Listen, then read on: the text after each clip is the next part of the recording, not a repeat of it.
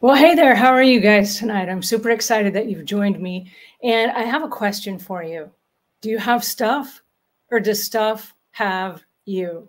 It's an interesting question because when we start thinking about the stuff that we have, it's easy to get wrapped up in, oh, I've got so much and it's just going to take so long to, to kind of sort through. And so we kind of put it off a little bit and then we never get around to it. Eh, and it, over the last couple of months and the last couple of years, especially during the pandemic, We've been approached by literally hundreds of families who are going through a difficult time right now because they have not dealt with the stuff that they have. And as they decide that they need to, they don't really have a schedule and they don't know how to go about it. And so it becomes this overwhelming thing that, that causes frustration. And so I want to stop for a second and I just want to take a look at kind of the stuff that we have. And then I want to figure out do we need a schedule for it? So tonight's topic is about scheduling the decluttering process in our homes. And I know what you're thinking. You're probably thinking, I don't want to schedule the decluttering process, right? That doesn't sound like a whole lot of fun. And yet, at the same time, it could be the avenue to great, healthy happiness and living. Okay. So I want to stop for just a second and I want to bring to our attention the fact that when we have a cluttered home, oftentimes it causes chaos at an unconscious level. And so beyond just normal things like you can't find stuff, right? It, it becomes an issue where you start um, going through a room and instead of it bringing you peace and happiness, you start feeling unconscious feelings of guilt. Like oh no i'm supposed to go through this. I'm supposed to put this stuff away. I'm supposed to th sort through my stuff. I'll do it later. And every time we put it off we we kind of build up that guilt in our in ourselves to where we feel like we're not worthy of living in a clean house. And i do want to attach the uh, realization that all of us are worthy of living in a clean house. It's something that i've believed from the day that i started my cleaning business 30 years ago and it's something that i believe to this day. And so I really want to draw attention to the fact that we do have a choice how we live. And so if we can all start paying attention to the little daily activities that we have and we work it together in a schedule. Now, um, I have bad news. And if you are joining me here tonight and you're only hoping for good news, I want to give you this alert because um, I want to have a real conversation with you tonight, and I want you to have a conversation with me back. So jump in and uh, say hi. Uh, Jennifer's here. Jennifer, hi. How you doing? Jillian's here. Um, uh, Jillian says I'm worthy. Yes, that's true. I'm so excited that you said that. Thank you so much. Um, the bad news is this: there is no one that is going to come declutter for you. We get to declutter ourselves. There's no one that's going to come clean your house for you unless you pay someone and there's no one that's going to come give you more time. Okay. So those are three things that we have to realize that if something is going to happen in my personal life, it's up to me. I, I, get to be that person that takes control of this part of my life and I get to make the schedule for myself. Now, one of the things that's really interesting about life, and I discovered this, I don't know how many years ago, one of the things that I discovered was there are consistently 168 hours in a week. I know it's pretty awesome, right? There are seven days in every week. There are 30 days or 31 days in every month, and there are 365 days in every year. And that's pretty consistent across the board. There are also things that are pretty consistent, like the sun comes up every morning and it goes down every night if you live in most parts of the world, right? So there are systems and there are calendars and there are schedules that life runs off of. And if we work with the schedule instead of against it, it's going to serve us really well.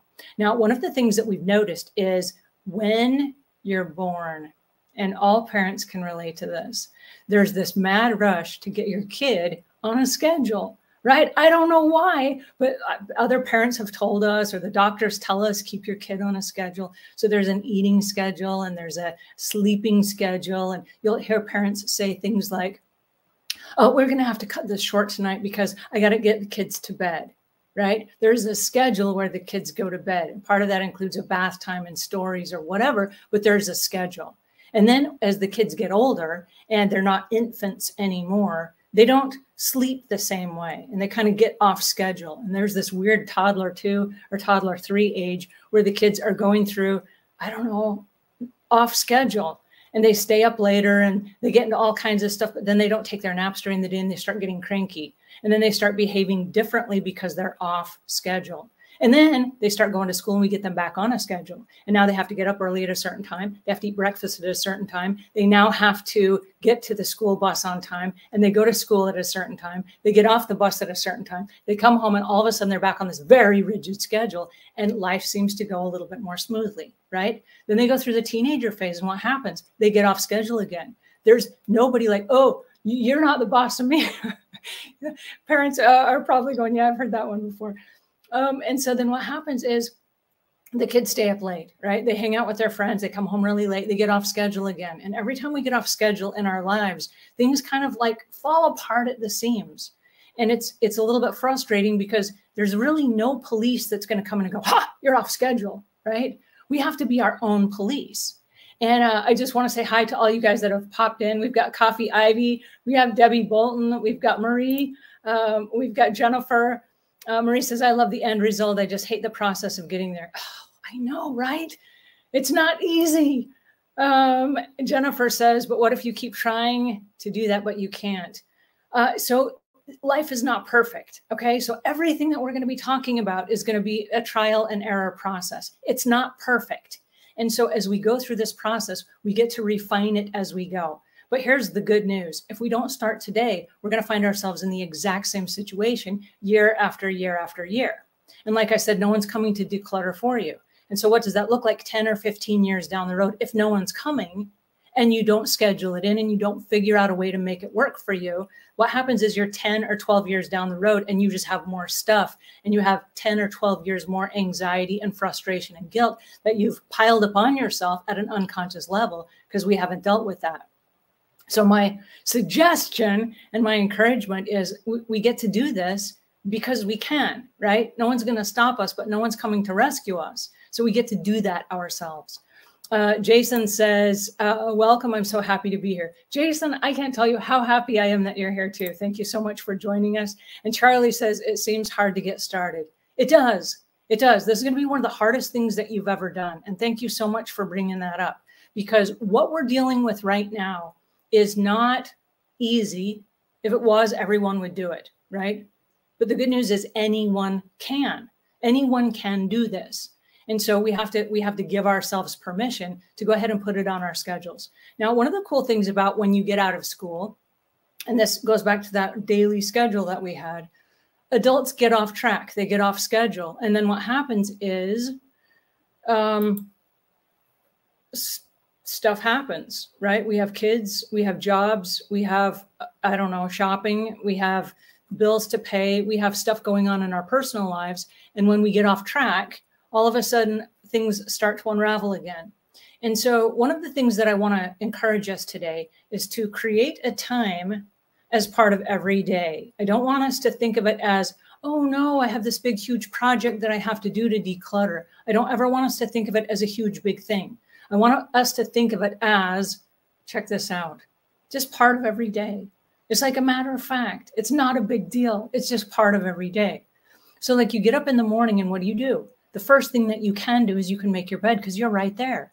And if you have a clean made bed, that's going to give the whole overall feel of your room a clean and tidy look. I want to highlight for a second when we go into a hotel, and people love going on vacation for this reason.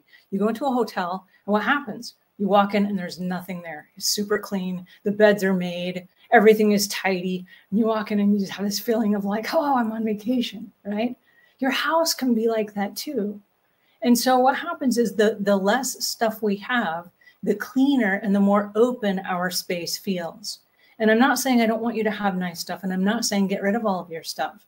What I'm saying is let's make some new rules about the stuff that you have and let's put decluttering on a schedule. So if you make your bed in the morning, that's what a house cleaning task or decluttering task. It's really house cleaning. And we're going to add cleaning in with the decluttering. Now, lots of people will say, well, I can't clean my house until I declutter. Well, it's easier to clean it if you declutter first, but it's not impossible. And so, what I want us to do is, I want us to start doing little bits of both little bits of cleaning and little bits of decluttering every single day. Now, there are habits that we can get in, and some of the habits are um, very simple. Uh, one of the habits is one for me and one for you. Oh, we got a bunch of new people joining us. Hang on one second. I'll tell you about that in a second. Uh, Christina says, I'm working on getting rid of stuff. My problem is my dad recently passed away and I have a lot of his things. Also, my brother is now in an assisted living facility and I have his stuff too. Um, Christina, I'm so glad you brought that up because many people right now find themselves in that exact same situation. We're in six generations of people inheriting stuff from their siblings, from their family, from their parents, um, from their kids that have moved out and have gone to school and the kids like left stuff behind or the parents saved boxes of stuff for the kids from when they were young and they were growing up and so now there's this age where we have to oh no uh, i have my elder parents to take care of and in this situation it's your brother in an assisted living center. And now you have all of this extra stuff that you have to deal with. And so the question is can we start adding the decluttering into parts of every day? Because heaven forbid we should get to a point where I don't know, maybe your brother comes to stay with you, for example, and then anything that's in your house that would prevent assisted devices like a wheelchair or a walker or something to get through the house, it becomes a trip hazard. And then also, if we are in that type of a situation, it's possible that we ourselves are aging if we're sort of around the same age as our siblings.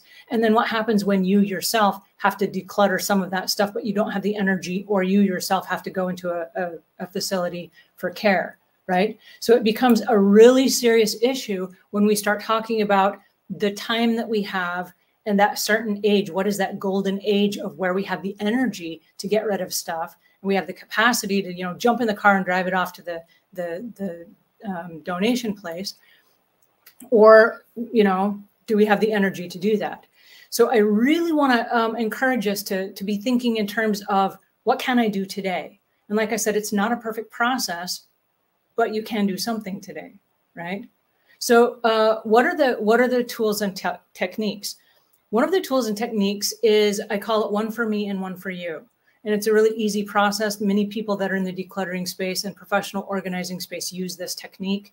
But if I get one for myself, I'm going to give one for you or one for donation, right? So if I buy something new for myself, I'm going to give one away. I buy something for myself, I give something away. And so it's for everything that you bring in, you get then get rid of something. Uh, the other day, I purchased um, some new underwear, which we just had a decluttering underwear. And as I was going through my underwear, I was like, you know what, my underwear is like older than five years and I really would like some new underwear. And so I'm going to get rid of the stuff that I have. I'm going to buy some new stuff. So I bought some new stuff. And as it came in, I was like, well, the other stuff is still good. And what if the new stuff doesn't fit? And I didn't have time to try it on right then. So what I did was I left the tags on it. And I said, before I try the new underwear on, if I, as soon as I try it on and I take the tags off, one has to either go in the trash or or I've got to get rid of it, right? So it's that same concept. If you can't get if you can't deal with it immediately, leave the tag on it or whatever until you then wear it and then go ahead and get rid of the other one. If you're getting rid of something and you're not sure, this is another technique that we use a lot. We'll put it inside a bag and we'll put it like right outside the door or we'll put it like in the garage, for example, with a date on it, 30 days out. And within 30 days, if we didn't need it, if we didn't go get it, if we didn't use it, we then donate it, right?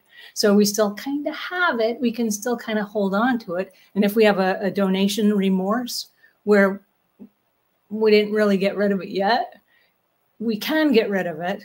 But then we're like, oh, hey, I forgot what's in that bag. We already know what's in the bag because we put it out there, right?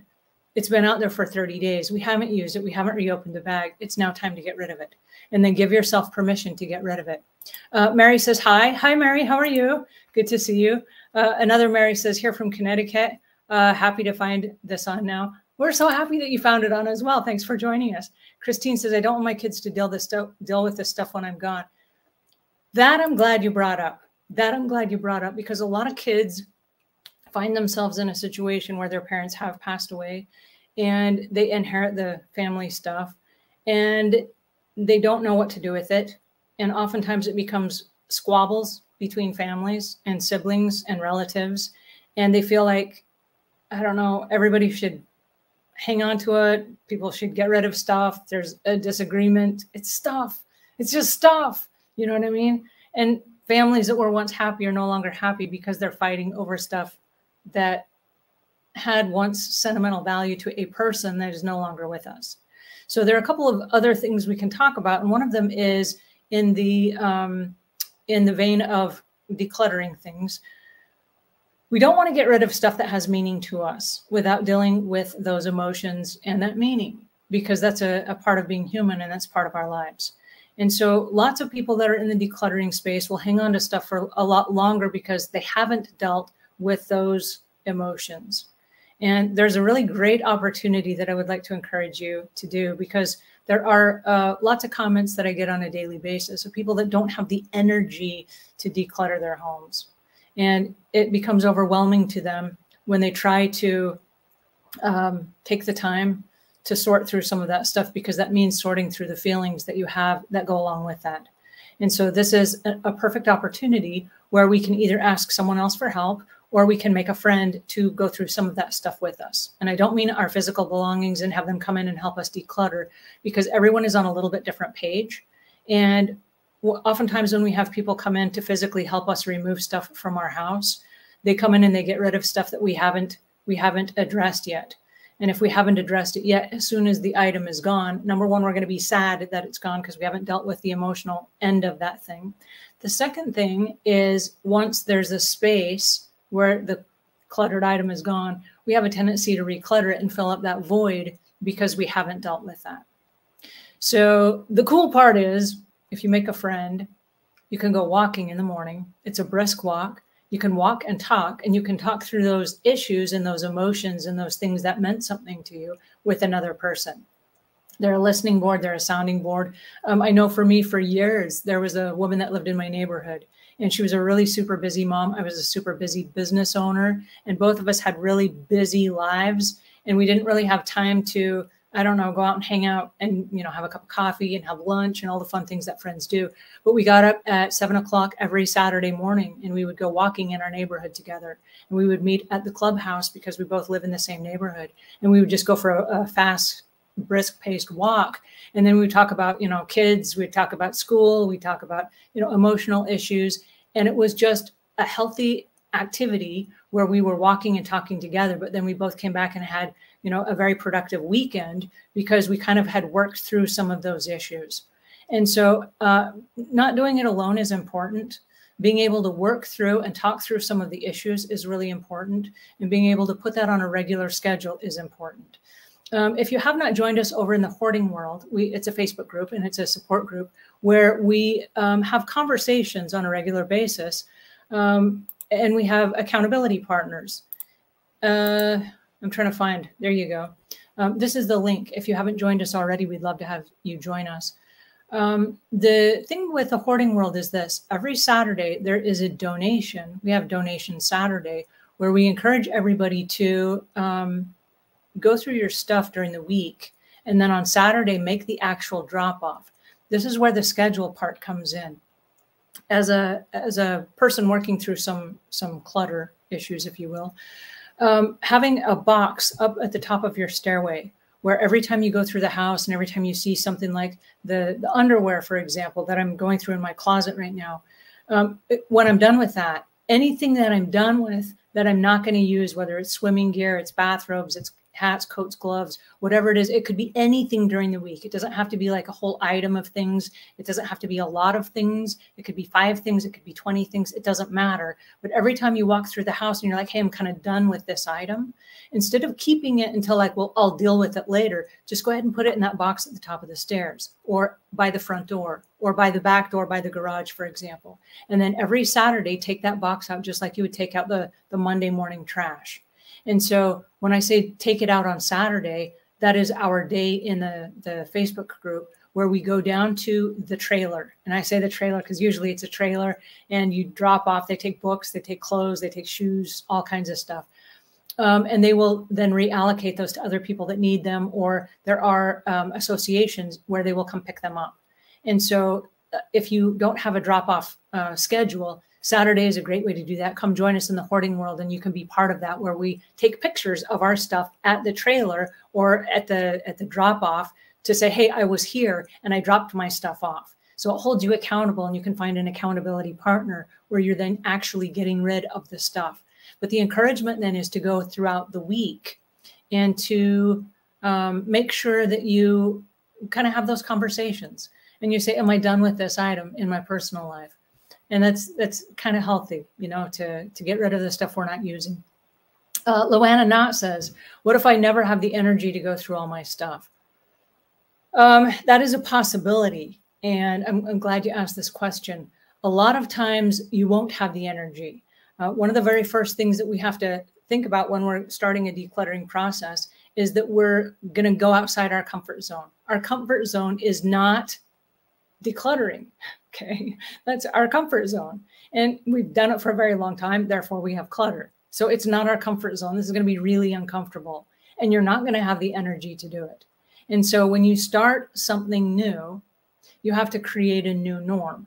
If you've ever noticed in the news and the media, when people win the lottery, very shortly thereafter, within a couple of years, they're mostly broke.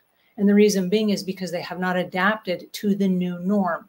In their minds, they weren't actually wealthy, they just got some money. And so that's very similar to us trying to declutter things and we get rid of stuff. We have all this dopamine high, like, woohoo, I got rid of a bunch of stuff. But that's not our new norm. And because it's not part of our everyday daily schedule, what happens is we tend to revert back to the old way, right? And so we don't want to go back to the old way. We want to create a new norm. It's a new normal way of living. It's the opportunity of living with less. Now, I don't want anybody to go without. I want you to have nice stuff. I love nice stuff. I've got some really nice stuff myself, and I love the things that I own. But we have to ask the question do we own those things, or do those things own us? And if the things we own own us, and we're spending all of our time and our energy trying to protect them and trying to guard them and trying to you know de- declutter ourselves from them or unhinge ourselves from them then why do you have it right? Do we really need that stuff? So you might not have energy to do it but we're going to create the new norm. It's like going to the gym and as soon as you go to the gym yeah you hurt. And you're like oh my back my shoulders I ache i'm so sore but then after a few weeks, by breaking down your muscles, all of a sudden you start getting stronger and stronger and stronger, and that becomes the new norm. And all of a sudden you start being more fit and toned and you have more energy, and that becomes your new norm. And so during this process, yeah, it's going to be really uncomfortable. And like I said, there's no one coming to do it for you. So you get to do it for yourself. And it's going to be one of the hardest things you've ever done. And a lot of people are like, well, I don't like hard. Okay, well, it might be hard now. It's going to be even harder later when you don't have the energy, or if you have medical devices that you need to bring inside your home and there's no room for them, or what if you have a whole bunch of boxes and you're not physically able to lift them and carry them out of your house? Or what if you don't, what if all your friends move away? Or what if you don't have the ability to get rid of stuff like you once did, right? The new norm is right now when you have the energy and the capacity to do so. So uh, I know right now, at this very moment, there are hurricanes that are coming through the whole eastern seaboard. And there are a lot of people that are like, oh, I'm going to have to evacuate my homes. Well, how sad if you have things that are of, of value in your homes and a hurricane comes and it wipes out some of that stuff for you. You never got a chance to say goodbye. You never got a chance to sort through this stuff and to put meaning to it, right? And so instead of having some catastrophe, I know this happens a lot in California where there are all these wildfires and homes burned down. And then there, there are people that are displaced. They don't have a place to live. And all of the stuff that meant something to them is gone. And so instead of having a natural catastrophe come in and clean house for us, let's let's take the opportunity right now and make those decisions ourselves, right? Because if we add it to our daily schedule, it just becomes the new norm. And it's not that big of a deal. It's just part of every day. And so like we have when you buy something new and you get rid of something, it's just a new habit that we've created. One of the habits that I'm a really big fan of is when the mail comes in. Do you bring your mail in once a week or do you bring it in every day? And the answer is even if you don't sort it every day, you can throw out the garbage every day, and the things that are important that you keep can be kept and dealt with once a week. Uh, I have a post office box for my business, and I go pick up my mail once a week. Now, I never bring anything out of the post office that can be thrown away right there on the spot. And the stuff that's important comes home. As it comes home, it immediately gets dealt with. And every single Sunday, there's a time on the calendar where we sit down and we pay the bills and we go through all the mail and we answer everything that we need to answer. Stuff has to get cataloged or, or put into a system or whatever, depending on what it is that comes in. Okay. The reason that we do that once a week is because it's really, really expensive if you don't. If you just have a bunch of bills that pile up and pile up and we don't pay them, all of a sudden we go into late fees, right?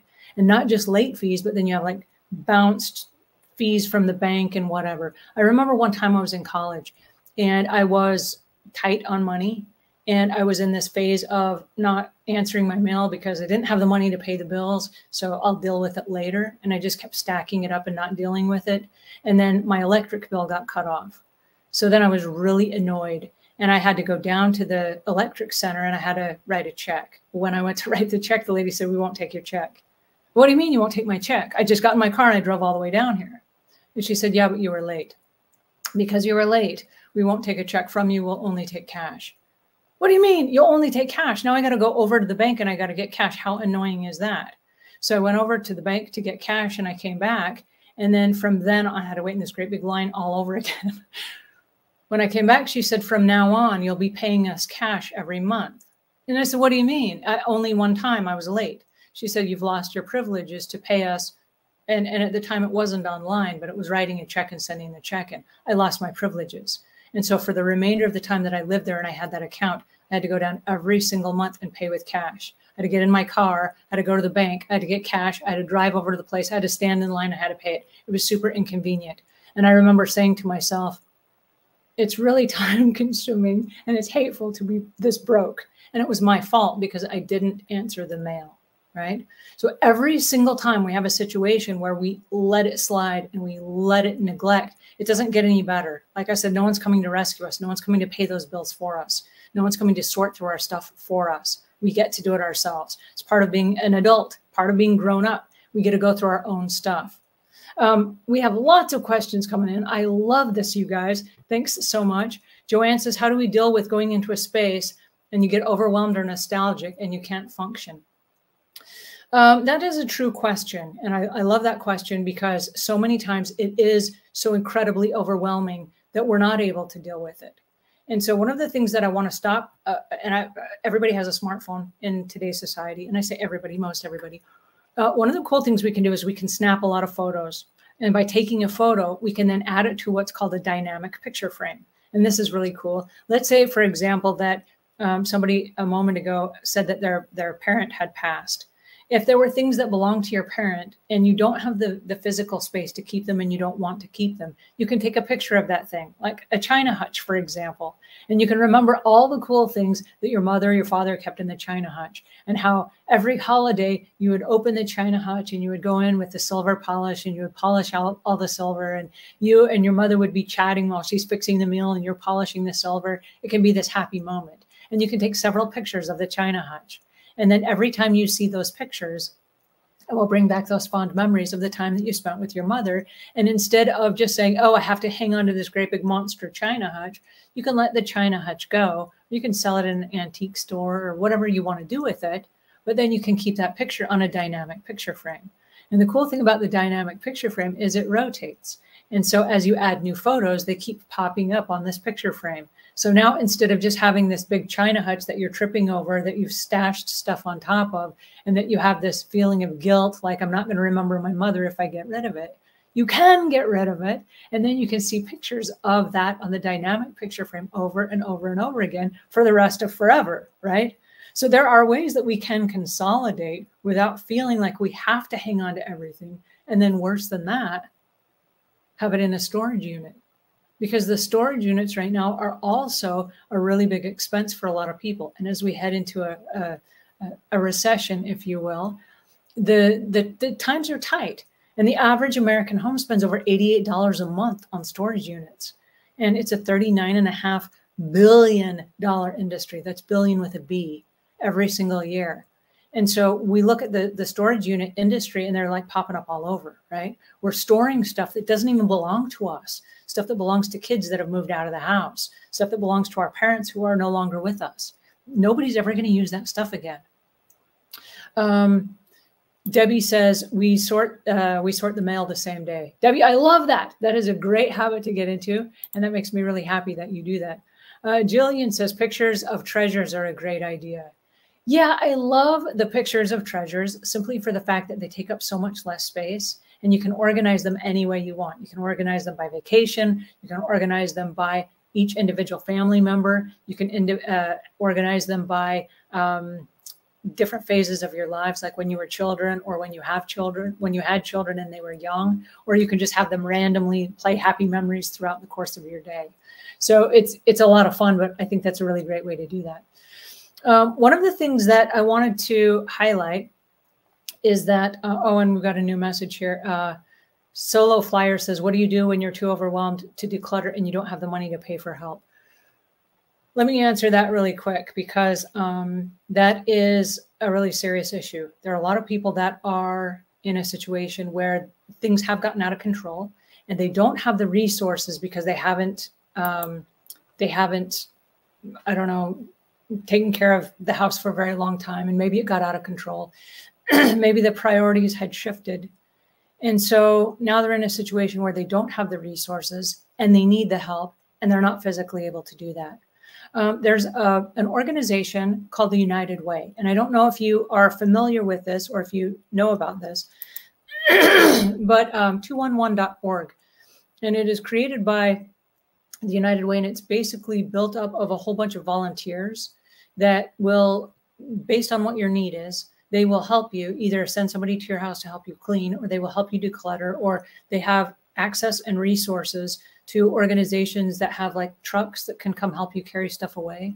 Or they might just be able to help you with counseling and help you get back on your feet as far as what the next steps are.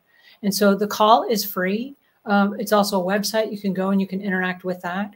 If you have extra time or skills or talent and you want to be a volunteer, they're looking for volunteers as well.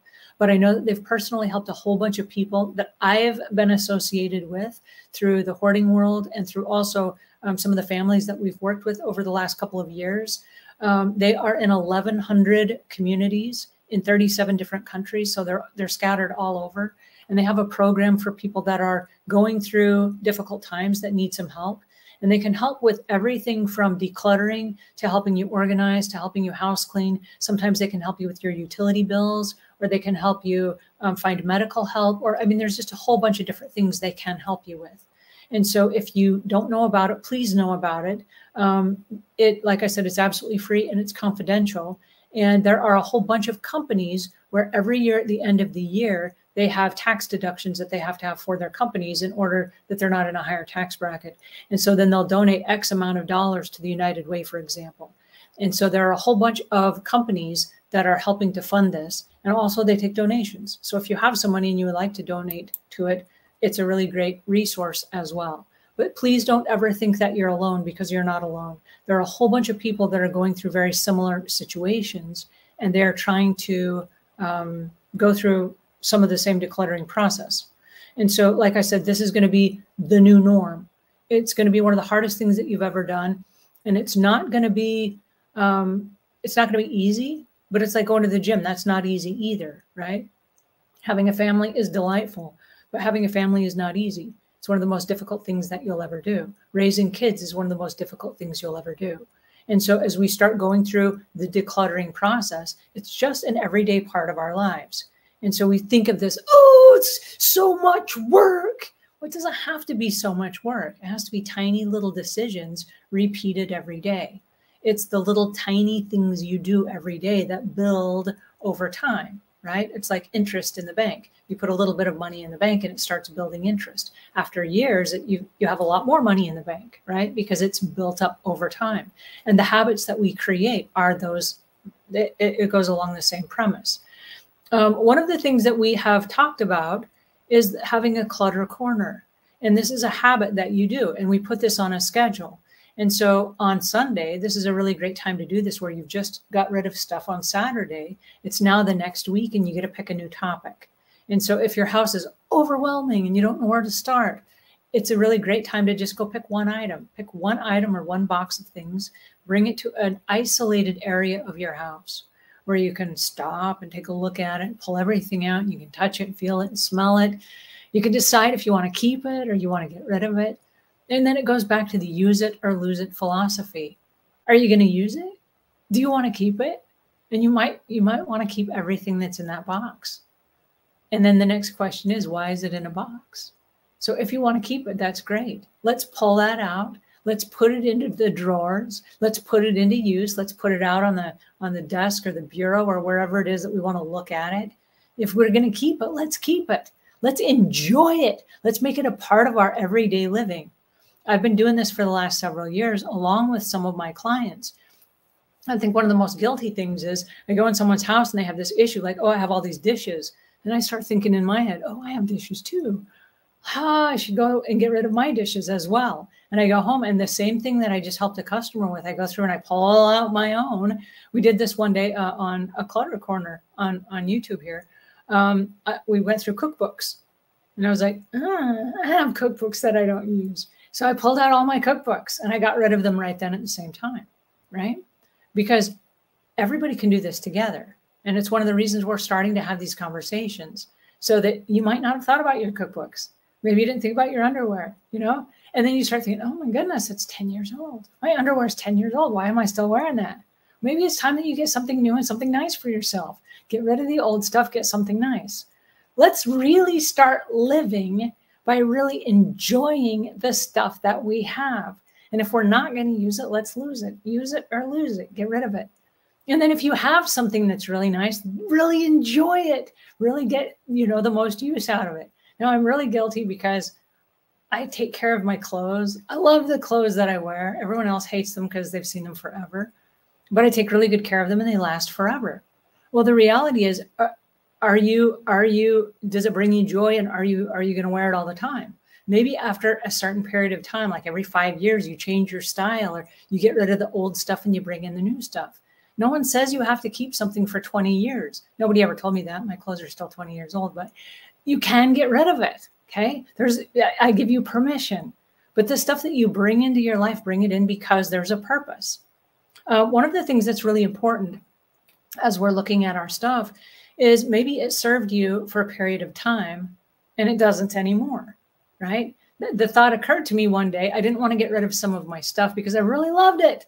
You know, they say if it sparks joy, keep it. Well, it all sparks joy. I just really enjoy it all. I love stuff. And the stuff I have is really practical, it's useful, it's durable. You know, why would I get rid of it? This is good. But then the reality is, does it still serve you for this particular point of your life? And so for me, it was like an old pair of shoes. You wear a pair of shoes, and for a while, it has great support. It's got great arch support. It supports your posture by having a strong heel to it. And then all of a sudden, after years of use, the treads wear down. And instead of standing up straight, they're kind of slanted. And you walk on the shoes and they don't have the same arch support that they once did. Or maybe they don't have the same shock absorbers that they once did. It doesn't negate the fact that you had a great, awesome pair of shoes that brought you joy. It's just that they're no longer serving their particular purpose. And so, even though they once brought you joy, maybe it's time to take those off and get rid of those and get a new pair that has new shock absorbers and new arch support. It'll support your posture better. And at this particular phase of your life, maybe you just need a new pair, right?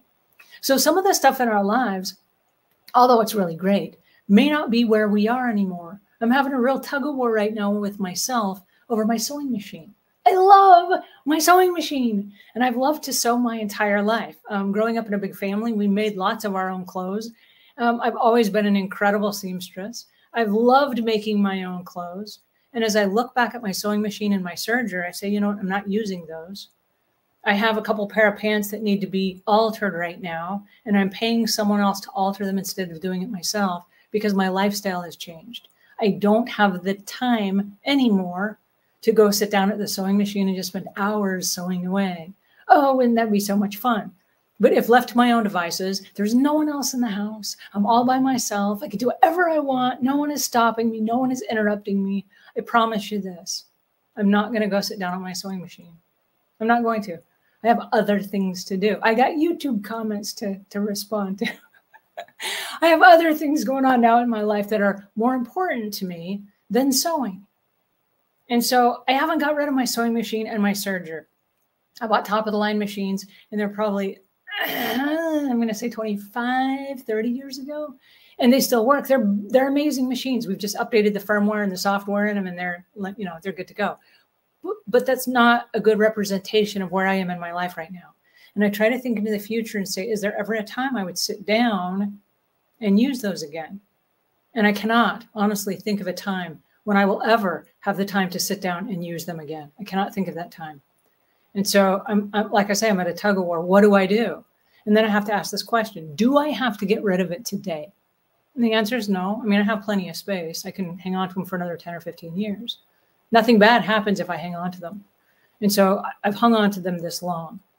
And so, eh, do you have to get rid of something? If you don't and you want to hang on to it longer, no harm, no foul, right? No one is judging you. It's okay. Keep it until you're ready to let go of it. Right now, I'm I'm kind of having a tug of war because I know I'll probably never use them again. I probably need to get rid of them. And so it's just a decision that I'm going to have to make. Um, Linda says, This is great. I'm decluttering right now as I listen. Linda, I love that. Thank you so much for sharing that with us. I love the fact that um, you guys are working in tandem with us having these conversations. Uh, Jillian says alterations. Uh, yes, alterations uh, for the sewing machine, but I probably won't do them myself. Like I said, right now I can pay somebody to do alterations less expensive than I can if I stop and I take the time and I pull out the sewing machines and I hook up the thread and I sit down and I find the time and I'm not I'm not going to have the time. It's going to be easier for me to outsource that at this point. And so again, that's my new norm. That's where I am right now. Fran says it helped me say I deserve it when I decluttered my linen closet. I was using this uh, snagged stained towels when I had brand new ones in the closet and I gave the old ones to an animal shelter. Fran, I'm so glad you brought that up. Um, it's really weird. I went through the exact same thing. I had a whole bunch of guest towels that only were used when guests came. And I was using these, they were fantastic towels, but they were all mismatched. I had like a red one and a blue one and a green one, and they didn't match the bathroom and they were just kind of all mismatched. And I decided one day, I said, you know how long it's been since we've had company come and stay with us? It's been a long time. And I would probably buy new towels for the guests if they came now. I'd like to take all the guest towels and put them into the bathroom, make those be our everyday bath towels. And so I did. I took all of the old towels out and I actually put them in a box that we would use for moving, for example. If I'm moving stuff or I'm hauling stuff that I need like extra packing or to protect something. And um, all of the nice towels then went into our rotation in the bathroom. And the cool thing is, all the towels now in the in the house match. And so they all the towels on all the racks, they all match. Everything looks nice. They're thick, they're cozy, they're comfortable. And when I get out of the shower, instead of using an old one that was maybe, I mean, they were good towels too, but you know, more threadbare than the new ones. We got the nice big cushy ones that, you know, it's just it, it just brings an extra little tiny moment of joy to the day. But what can you do every day? What can you do every day to declutter? Can you do a little tiny bit? As you go to put a mug in your kitchen cupboard, ask yourself this question Do I use this mug? Is this a regular mug that I use? And if yes, it is, and you go to put it back in the cupboard and you see hundreds of mugs in there that you don't use, pull a couple of them out, put them in that box that's by the stairs or the box that's by the door. Just get rid of a couple. You don't have to get rid of them all, just get rid of a couple. Can you get rid of a couple things that are inside your cupboard that maybe you didn't know were there, so you went and you bought another one. This happened to me. I um, I needed a cheese grater, and they have these cheese graters. They're kind of tall, and they have four sides, and you know you grate cheese on them. They're metal, and I um, I couldn't find it, and I'm like, I'm sure I had one, so I bought another one, and then I used it and I put it away. And then maybe, I don't know, a month later, I was like, I thought I bought one, but I can't remember. So I bought another one. Well, lo and behold, when I cleaned all the cupboards out one by one, I found that I had four cheese graters. I had four. I'm one person. I don't need four cheese graters. I only need one at most, right? But because I wasn't organizing, because I didn't know where it was, I didn't know where it was. So I kept buying new ones. Has that ever happened to you? You couldn't find something, so you bought a new one. And then later you found you had multiples. And now you have to make a decision. Which, which one are you going to get rid of? I got rid of all four of them when I bought myself a really nice cheese grater and it goes in one spot. And that's the key. I started putting stuff in one spot. And when I was done, it didn't matter how inconvenient it was. I started putting stuff back in that one spot.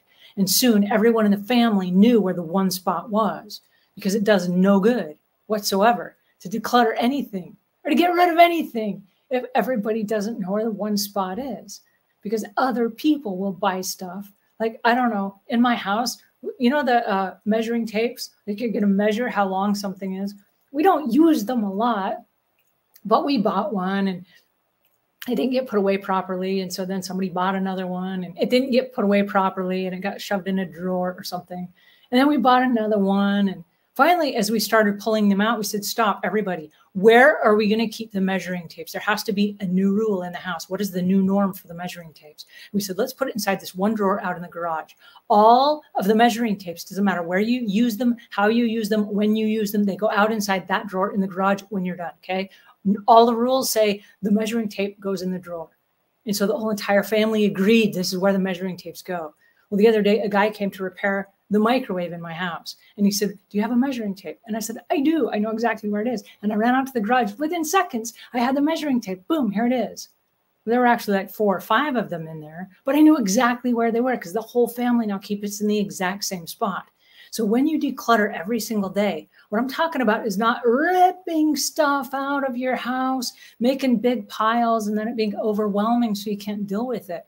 What I'm talking about is making a new rule. The new rule can be something as simple as where do we keep the measuring tapes? And then go put all the measuring tapes there. And then here's the cool part whenever you're cleaning the house, you're decluttering stuff, and you run across a measuring tape, Holy smokes, I know where that goes. And you take it back out of the garage and you put it in the second drawer. Why? Because that's where it goes. And suddenly you know that's where it is. Now you can stop buying measuring tapes as you need them because you know where the ones are that you have, right? This is what I'm talking about. Put it on a daily schedule. Every day, do something, and it, you don't have to plan for it. Do it as you go, as you go. The rule is if I buy one of these, I get rid of one of these, right? It's a rule. It's a new part of our new norm. And so then every time we buy something, you can even be in the car on the way home. You're driving home listening to the radio, and you could be thinking, okay, I just bought a new pair of shoes. That means I got to get rid of a pair of shoes. Hmm, which pair of shoes am I going to get rid of? Which pair of shoes do I like the least? If I get one in and I let go of one, which one am I going to let go of? And then when you get home, and you bring the new one in, run at the same time and go get the other one and get rid of it. Put it in that box that goes on the by the stairway or by the, the, the garage door, right? This is how this works. It becomes part of our everyday living. I don't want decluttering to be this big thing that consumes your time and energy. I don't want that for you. I want it just to be like a normal everyday part of your life. One in, one out, right? And now many people have a, a challenge with buying stuff. They buy stuff they don't need. And I want you to stop that. If you don't need something and it's not part of what you're doing right now, don't buy it. You can always buy it later. The stuff that we've consumed in our lives, it's not going away. All the same stuff is available that was available five years ago, 10 years ago. Even more stuff is available, right? Stuff is not going away. You can always buy it. So ask yourself, do I have to have it today? And if you don't, well, don't buy it today. Can you wait a few days? I have a rule for me. This is my personal rule, and it's a, a great decluttering rule. Um, if I haven't shared this with you, let me share this with you now, okay? This is a really great rule. When you want something, and this happens, um, it's like, what do you call it? Um, uh, compulsive buying, where you see something and you didn't need it five minutes ago, and now you can't live another five minutes without it. You're like, oh, I got to have that. Ask yourself this question Can I go 21 days without this item? Can I? And it takes a lot of self discipline. And the answer is yes, you can. Because guess what? You just went 21 days without it. Can you go another 21 days? Of course you can. So go 21 days without it. If there's something you really have to have and you wait 21 days, here's what happens you go through a whole bunch of biorhythmic swings you go through different moods you go through different phases of hunger and being full and being lethargic and feeling fantastic and all of the different moods that we buy stuff in you will go through while you want this item.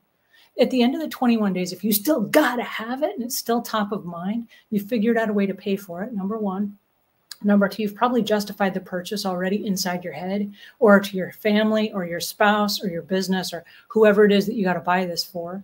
You've probably already looked and found the best pricing. You probably have already checked out the warranty or read the ratings and reviews. And now you're making an educated buying decision at the end of 21 days, and you probably have saved enough money to pay for it. Um, perfect example. This image behind me, I was gonna I was gonna buy for my YouTube show when we started the YouTube show five years ago, and it's actually a stretch fabric trade show display. And when I saw it, I was like, oh, I gotta have that because I didn't know how to make green screen work. In fact, I still don't. I was trying earlier today to make green screen work and I still don't know how to make it work. But I wanted to have a cool backdrop. Okay. So for me, it was like, I gotta have that. Well, it was expensive and it wasn't money in the budget because I didn't budget for a trade show display. Like who does that, right? I, di- I didn't. And so I said, well, let me wait 21 days and see if I still have to have it. Every day I thought about the trade show display. Every day I thought, what, how cool would it be if I had a trade show display that had this picture on it? That all I had to do is stand in the front of it and I could use that as like the backdrop for my YouTube show. How cool would that be?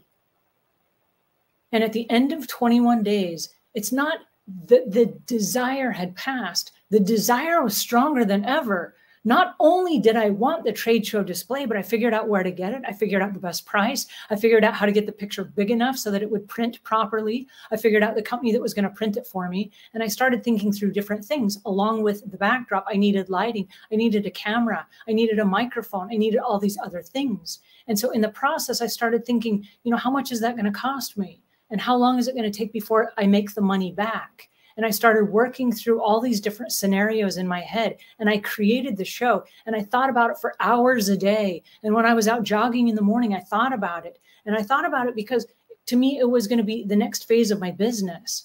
And instead of just randomly buying something compulsively and saying, oh, I hope this works out. Oh, that didn't work out. Let me buy something else. And just cluttering the house with all these weird random things, I ended up buying stuff that I've used every single day for the last five and a half years, every single day oh, wait, I'm using it now. Check it out. Do you see what I'm saying?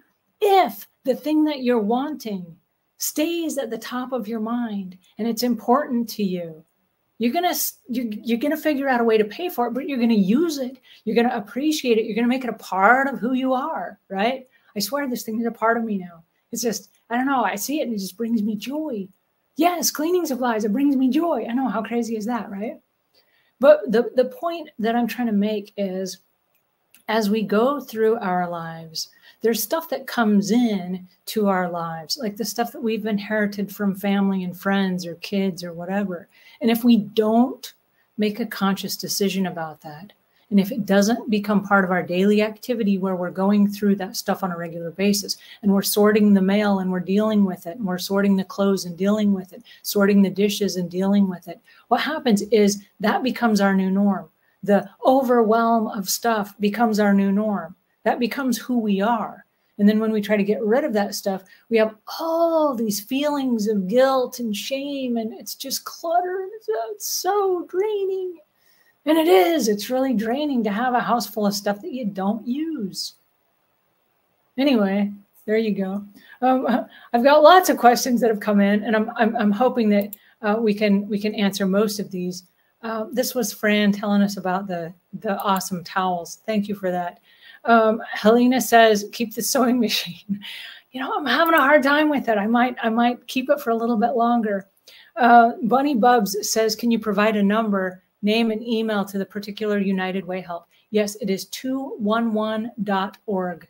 You can go to their website, their phone number, everything is there, 211.org. It's very easy to find. And they're, like I said, they're helping all kinds of people. Please, please give them a call.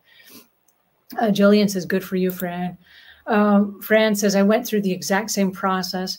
You know what, you guys, we're all going through this together. This no nobody's going through this alone. We're all going through this together. The entire world right now has gobs of stuff. Like I said, the, the uh, storage unit industry is a $39 billion a year industry.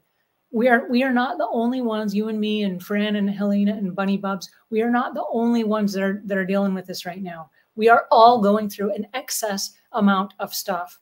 And if you live in America, I don't know why, but we are consumers. We consume a lot of stuff, and it's becoming an overwhelming part of our lives. Please let's not make this the new norm. We don't need all this stuff. We can get by with a whole lot less. And one of the challenges we have is working with professional organizers and house cleaners. We're going inside people's homes and people are like, we need more shelves. We need more storage units. We need more boxes. We need more. We don't. It's so much easier to organize the stuff you have if you have less. Let's get rid of the stuff that we don't use. It's like the old shoes. Let's take them off and set them aside and donate them and get rid of them. And let's use the ones that we have. One of the coolest concepts I ever found was to go shopping in my closet and inside my pantry.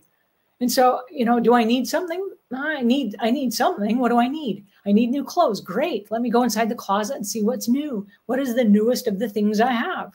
And I'll go shopping and I'll find a nice pair of pants. I'll find a nice shirt. I'll find some nice socks and nice shoes. And then I'm like, look at me. I got a whole new outfit. It was all in my closet. I just haven't been wearing it. Right. I go inside my pantry. I'm like, hey, what can I eat? Oh, look, there's all this food. How cool is this? I can make a meal out of all these weird little things that I have in my pantry. I don't need to go to the store. We have a tendency to think only new stuff counts. It doesn't. Lots of us have new stuff. I can't tell you how many times I've gone inside people's homes to help them declutter. We're pulling out stuff that once brought them joy and it still has the tags on it. They've never used it, never worn it. And so, what was the thrill? Buying it and getting the quick dopamine high of like, hey, look, I accomplished something? Did you know? Did you know that one of the reasons people buy things is because of the dopamine high and the trickery of saying, oh, look, I have something to show for my time and effort. I bought this stuff.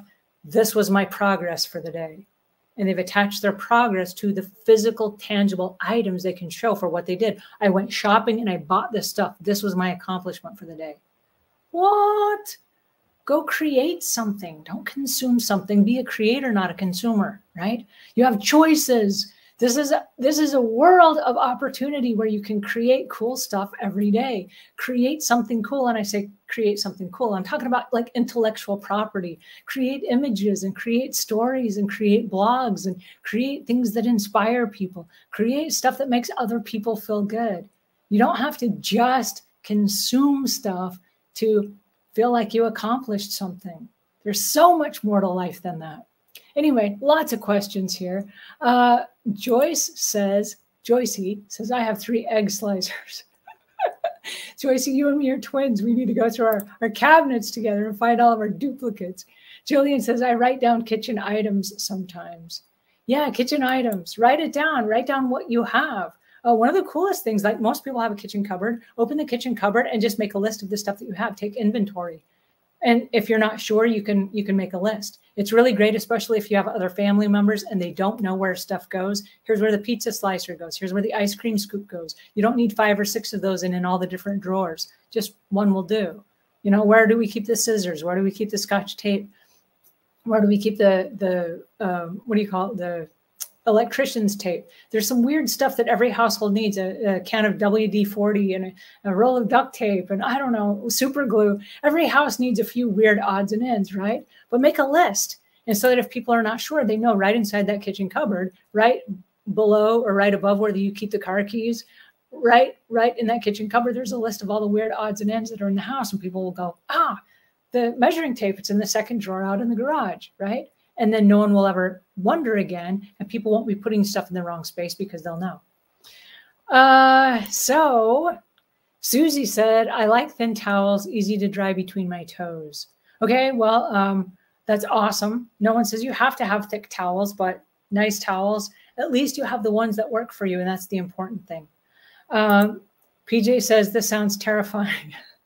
This is this is this is going to be a tough thing okay? Going through your stuff and putting it putting the the organization on a schedule is going to be one of the hardest things you've ever done.